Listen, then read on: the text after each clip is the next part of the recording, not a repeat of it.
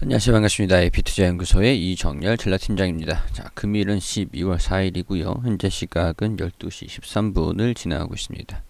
자 지금 보실 종목은 SK 하이닉스고요. 코드번호 000660이에요. 자 SK 하이닉스. 아 오늘 금요일인데도 불구하고 엄청나게 강세를 보여주고 있습니다. 자 그런데 뭐 어, 제가 이전에 좀 말씀을 드렸던 부분들이 어, 좀, 예, SK 하이닉스가 삼성전자에 비해서는 상당히 못 갔다. 지수 자체적으로 비해서도 상당히 못 갔다라는 부분을 좀 말씀을 드렸잖아요. 자, 이런 부분들을 보면은 우리 2월 달, 2월 달이고 3월 달입니다. 자, 2월 달이고 3월 달이죠. 자, 삼성전자는 지금 여기에 위치해 있으면서 엄청나게 강세를 이어가고 있습니다. 자, 이 부분들. 자, 보시면은 여기 2월달, 3월달 지금 여기 위치해 있죠. 지수랑 유사하게 움직인다고 삼성전자 브리핑을 드릴 때도 이렇게 좀 말씀을 드렸었습니다. 자 여기 이렇게 좀 움직이고 있는 부분들 상단 부분, 하단 부분 이, 이, 2월달, 3월달 삼성전자는 지금 여기 지수랑 동기화된 움직임을 보여주면서 어, 계속 올라가고 있어요. 어, 미친 듯이. 근데 이제 SK 하이닉스 같은 경우에는 삼성전자보다는 어, 조금 느린 모습을 좀 보여주고 있습니다. 어, 보시면은 자, 2월달이고 3월달인데 2월달이고 3월달 꾸준하게 올라간 반면에 이제 급등을 하면서 여기 이 위치 지금 여기에 위치해 있는 거죠. 이제 자, 차트랑 지수 지수 차트랑 SK SK 하이닉스 이 차트를 비교를 해드리면서 제가 이후에는 어 우리 뭐 크게 뭐 어렵게 볼 것도 없다. 어, 우리 2월달, 3월달 이렇게 움직임을 좀 보면은 어, 충분히 SK 하이닉스가 삼성전자를 좀 따라가는 그런 움직임을 좀 보여줄 수 있다라는 부분들 좀 설명을 드렸습니다. 그래서 그 설명 드린 이후에 조금 올라갔죠. 제가 한 9월달, 10월달부터 브리핑을 꾸준히 드렸는데 뭐 다양한 요인들을 많이 설명을 드렸었어요. 뭐 화웨이부터 시작해서 삼성전자부터 시작해서 뭐 D램 가격, NAND flash, 인텔 인수하는 것까지 등등등 다양한 이슈들을 많이 설명을 드렸었습니다. 자, 근데 어, 제가 이제 최근에 들어가지고 이제 삼성전자가 급등하는 모습을 좀 보여주기 시작을 했으니까 본격적으로 SK 하이닉스도 어 많이 올라가지 못한 상황. 지금 여기 이 위치에 위, 여기 이 구간에 자 이 구간에 위치해 있을 때 자, 이 구간일 때도 좀 말씀을 드렸었어요. 이 구간일 때도 어 이제 지수에 비해서 지수 비교하면 이때 당시에는 여기다 어 6월달 어 우리 5월달 여기다 여기 여기 위치다 어 그렇기 때문에 한 이 정도는 이 정도 이 정도까지 좀 올라오지 않을까 이렇게 좀 단기적으로 올라가려고 그러면 삼성전자를 좀 따라가는 그런 키 맞추기 움직임을 보여준다라는 부분들 이런 것들 좀 말씀을 드린 이후에 엄청나게 상승을 어 하는 흐름들 뭐 이전에도 꾸준히 말씀드렸었는데 어 상승하는 흐름들을 좀 보여줬습니다. 자 일단은 어 SK 하이닉스 같은 경우는 조회수가 그렇게 많이 나오진 않은 편이어가지고 어 그렇게 좀 집중을 해가지고 브리핑을 지속적으로 좀 오래 드리지는 못했는데 어 강세를 좀 보여주고 있는데 어디까지 올라갈까라는 부분들은 어 지수만 보면 됩니다. 지수가 계속 연속적으로 상승하고 있는 동안은 SK 하이닉스가 따라가는 움직임이기 때문에 어, 지수를 지수가 조정을 좀 받고 하락하는 모습을 보여주지 않는 이상에는 어, 지수를 좀 따라가는 모습을 이어갈 거다라는 부분들 이런 부분들은 좀 예상이 되는 부분들이기 때문에 어, 제 개인적인 의견들 어, 이런 이런 식으로 좀 드릴 수 있을 것 같습니다. 아직까지 모든 부분들이 지수 상황에서 지수를 좀 따라가는 움직임들이 좀 많이 나, 보여주진 않았어요. 자, 보여주진 않았기 때문에 그런 부분들 어, 일단은 참고를 하시면서 삼성전자의 동향과 어, 우리 코스피 지수 그런 부분들의 움직임 어, 그런 것들을 좀 참고를 하시면서 지켜보시면 될 것 같습니다. 자 최근에는 어, SK 하이닉스가 중국에 어, 직원을 한 명을 파견을 보냈습니다. 어, 직원을 파견을 보냈는데 어, 직원이 무거, 그 직원이 이제 귀국을 한 다음에 코로나에 확진이 됐죠. 어, 확진을 받아가지고 중국 현지 공장이 가동이 중단이 됐었습니다. 어, 중단이 됐었는데 이 기사가 어, 11월 30일에 나왔던 기사거든요. 11월 30일에 나왔던 기사인데 이전에 11월 30일 자 이때 이후에 주가가 엄청나게 올라가요. 어, 뭐 때문에 주가가 올라갔을까? 확진이 돼가지고 공장 가동이 멈췄는데도 불구하고 왜 왜 주가가 올라갔을까? 약간 그런 것들이 어, 이번에 오히려 이렇게 가동이 중단이 된 SK 하이닉스 충진 공장, 반도체 패키징, 포장, 후공정 작업을 하는 곳이다. 나오는데 어 그 일반적으로 반도체 생산 공장은 잠시라도 전력의 공급이 끊기면 생산 라인을 복구하기까지 수율이 걸리고 피해액도 크다. 자 이런 것들이 오히려 SK 하이닉스와 삼성전자에게 어, 수혜로 돌아오게 됐습니다. 자, 뭐 때문에 그런가? 어, 또 살펴보니까. 자, 이제 이런 것들을 보니까 어, 이 가동이 잠깐 중단이 됐다. 어, 전력 공급이 잠깐 끊기면 생산 라인을 복구하기까지 수율이 걸린다. 피해액도 크다. 자, 이런 부분들 보니까 D램 생산에 차질이 생겼다라는 거죠. 코로나에 멈춘 SK 하이닉스 중국 공장 메모리 가격이 급등하기에 어, 전망이 이르게 됩니다. 자 가동 공장의 가동이 좀 그 이제 정지가 되면서 여기에 대해서 생산에 반도체 생산에 차질이 입, 입어진 거죠. 안 그래도 삼성전자가 팔 반도체가 지금 부족하고 부족해지고 있는 그런 실정인데 오히려 공급이 더 어, 부족하게 됨으로써 메모리 가격에 대한 어, 가격 상승으로 이어질 수 있다. 자, 그러다면은 메모리 가격이 상승을 하면은 영업이익률이 개선이 된다. 자, 지금까지 우리가 SK 하이닉스가 올라가지 못했던 이유들, 삼성전자가 올라가지 못했던 이유들은 어, D램에 대한 가격이 하락하고 반등을 하지 못했기 때문에 영업이익률이 훼손이 되고 이런 부분에서 실적이 이어지는 부분들, 영업이익, 매출 매출 대비해 가지고 어, 매출 대비해 가지고 영업이익률이 높으면 영업이익이 어, 올라가잖아요. 영업이익 이런 부분들이 메모리 가격, 디램 가격들이 조금 급등을 해버리면서 어, 공장이 가동이 어, 멈추게 된 게 시장에서 얘네가 의도하지 않은 그런 시장의 수급 불균형 이렇게 진행이 되는 부분에서 메모리 가격 급등을 하면서 삼성전자랑 SK하이닉스랑 어, 오히려 수혜를 받을 수 있다. 영업이익이 일시적으로 어, 더 증가될 수 있다라는 전망에 이르게 된 겁니다. 자 이런 것들을 보니까 어, 생산 중단에 따른 일시적인 가격 급등이 가능성이 있다라고 하면서 어, 여기에 대한 어, SK 하이닉스가 어, 수혜를 오히려 받을 수도 있다라는 부분들. 자, SK 하이닉스가 그동안 어, NAND flash 생산에 40% 차지하는 어, 사, NAND flash 생산에 40%를 차지를 하고 자, 1년 내내 어, 2시, 24시간 돌아가는 메모리 반도체 공장 특성상 단 한 차례도 가동이 중단되는 월 분기 메모리 반도체 생산량이 미치는 타격이 크다라는 부분들. 자 이런 부분들을 보니까 어, SK 하이닉스가 공장의 가동이 중단이 됐던 부분들이 오히려 호재로 어, 다가오고 있다라는 부분들. 자 여기에 어, 지금 방금 이제 오늘 새벽에 나온 기사인데 마이크론 D램 공장이 1시간 동안 정전이 됐다고 합니다. 자 이렇게 되면 세계 D램 생산의 8.8%를 담당하는 어, 대만 공장에서 어, 수급 불균형이 SK 하이닉스, 마이크론까지 엎침대 덮친 격이 됐어요. 자 이게 지금 상황에서 오히려 D램 가격이 더 추가적으로 상승을 할 수 있다. 이런 부분들 어, 현물 가격 영향에 좀 국한되고 수급의 영향이 크지 않다라는 분석들은 좀 있지만은 이런 부분이 어, 디램 어, 그 반도체 공급의 불균형이 나타날 수 있으면서 오히려 영업이익이 어, 상승할 수 있을 거다. 자, 이거 12월 3일에 어, 서버용 디램 2차 사이클 준비해야 할 테다라는 기사들도 좀 나와주고 있고 내년에는 빅 사이클이 올지 내년 2분기부터 디램의 공급 부족이 나타날 수 있다. 자, 지금 서서히 시장의 수요들이 어, 좀 증가되고 있는 부분에서 공급에 박차를 가하기 시작을 했습니다. 시작을 했는데 여기에서 어, SK 하이닉스와 마이크론에서 어, 반도체 생산을 하는 것들이 사이클이 잠깐 차질이 생기게 된다면 공급 부족이 조금 더 빨리 올 수도 있다는 거죠.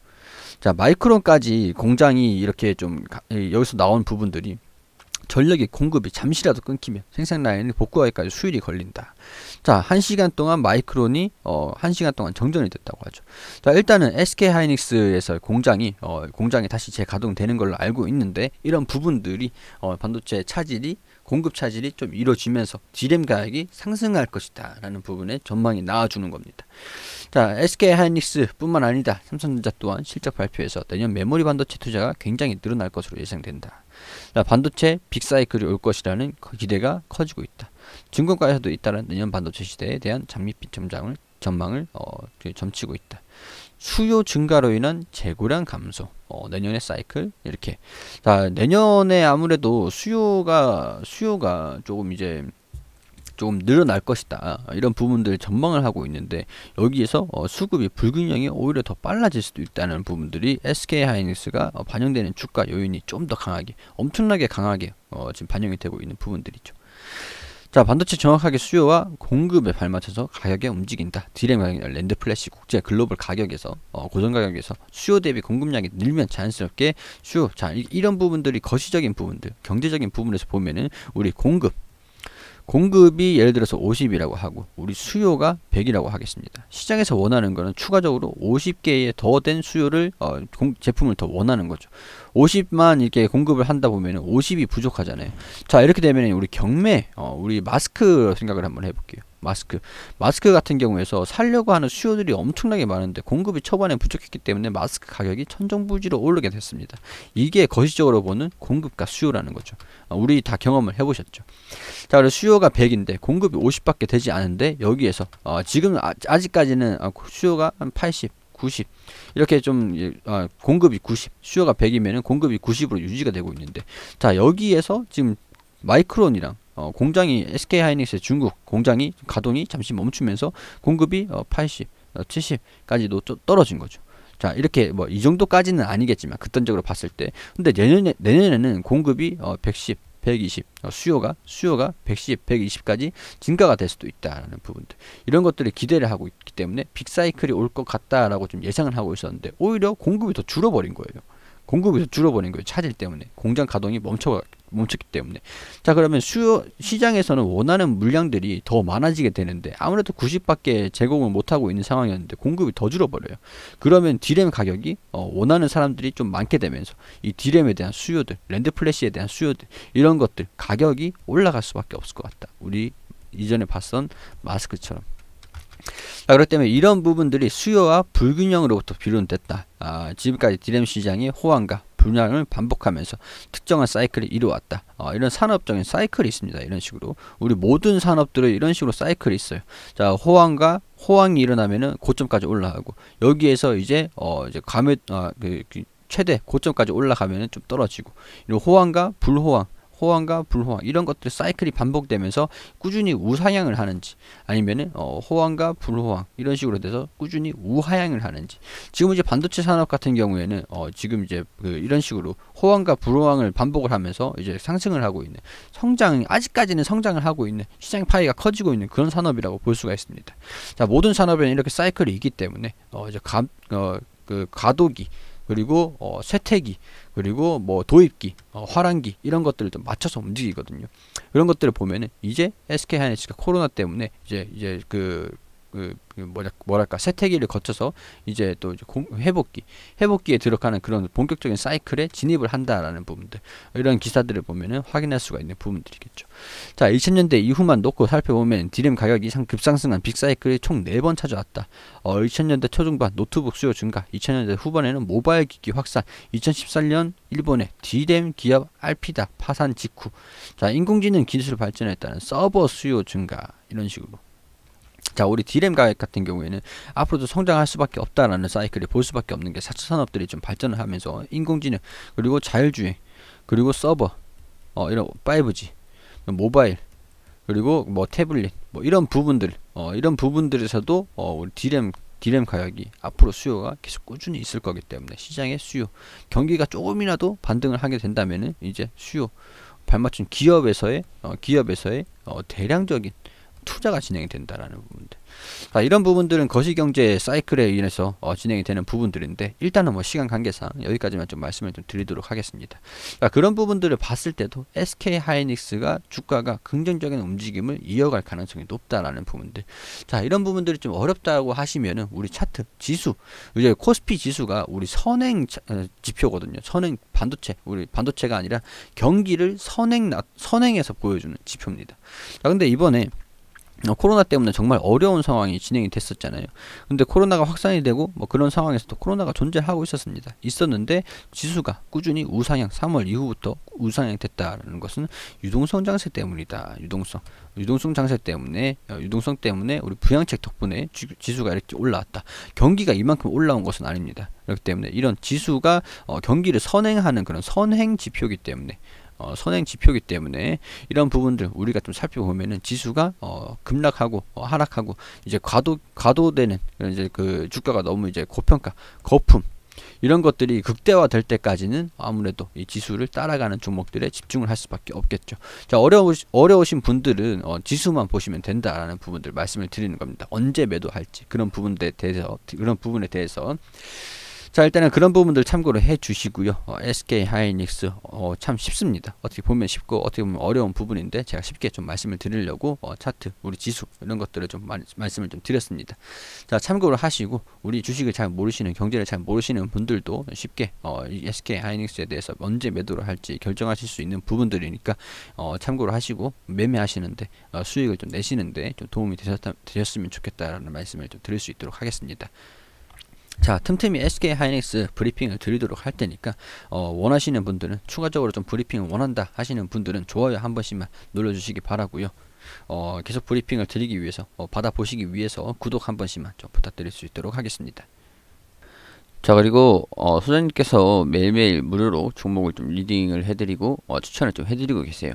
검색창에 AP투자연구소라고 검색을 하셔가지고 여기 상단 부분에 홈페이지 어, 들어오시게 되시면 라이브라고 깜빡깜빡 거리시는데 밑에 2020년 무료 추천 종목이라고 있습니다.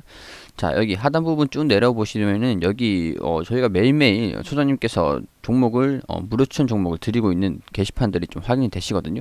3전 3승, 3전 3승, 뭐 3승, 3승, 어, 한 종목 상한가 아, 이런 식으로 내역들도 다 이렇게 어, 공개를 좀 해드리고 있습니다.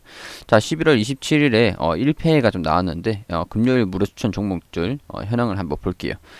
자, 우리 장전에는 보통 뉴욕 증시가 어떻게 움직였는지 좀 안내를 좀 드리고 어, 자, 공개 추천한 장원테크 이런 식으로 좀뭐 장전에 좀 간단하게 어떤 아셔야 되는 부분들 간단하게 좀 브리핑을 드립니다. 그리고 어, 9시가 되면은 어, 종목 추천을 들어가는데 어, 9시 1분 AF, AFW, AFW 현재가 13,900원 기준 매수가 알려드리고 1차 목표가 14,300원, 손절가 13,000원으로 대응하시라고 좀 알려드렸고 어, 9시 2분에는 한국테크놀로지 그룹이 현재가 16,900원 기준가 매수 그리고 1차 목표가 17,400원, 손절가 16,000원으로 대응하시라고 두 종목 추천드리고 자 엊그저께 추천드린 장원테크 2차 매수가 2120원이기 때문에 2120, 아, 2120원이 오면 2차 매수 들어가시라고 말씀을 좀 드렸습니다. 자, AFW가 9시, 9시 3분에 최고가 14,500원으로 1차 목표가를 달성을 했다. 이런 식으로 아, 일단 바로 단기적으로 빠르게 좀 움직이는 종목들을 좀 추천드리고 어, 안내를 좀 드리거든요. 그래서 오늘 두 종목 추천해서 한 종목 수익, 한 종목 보유 중, 뭐 AFW 그리고 어, 보유 종목은 한국 테크놀로지구로 다 손절가를 다 지키 지켜주시라고 이렇게 좀 어, 초단타로 진행되는 것이다. 자 이렇게 좀 안내를 간단하게 좀 드리고 어, 우리 아예 댓글로 게시판에서 댓글로 계속 이렇게 안내를 좀 드리고 있어요. 상세하게 리딩을 좀 도와드리고 있는데 어, 시장에서 우리가 좀 어, 어떤 흐름을 좀 보여주고 있는지 간단하게 좀 브리핑을 드렸고 어, 이 종목들이 어, 수익률이에요. 수익, 수익률도 좀 나와주고, 우리 VIP랑 무료 종목, 이렇게 좀 알려드리고, 뭐, 우리 한국 테크놀로지 그룹 같은 경우에는, 어, 동시호가 때, 어, 상승이 나와주지 않는다. 어, 뭐 그렇게 좀 손절가 좀 지켜주시길 바란다. 이런 식으로 좀 말씀을 드리고 어, AFW 종목 추천드린 거 어, 그리고 어, 한국 테크놀로지 그룹 이렇게 또 차트로 이렇게 또 설명을 좀 드리고 어떤 식으로 움직여야 되는지 어떤 식으로 움직이고 있는지 그런 부분들 좀 설명을 드렸습니다.